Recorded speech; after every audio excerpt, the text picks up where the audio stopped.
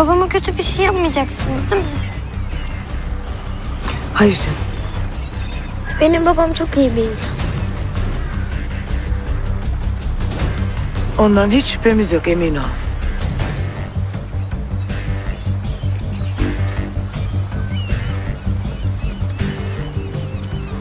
Gel canım. Çocuğu güvenli bir yere götür.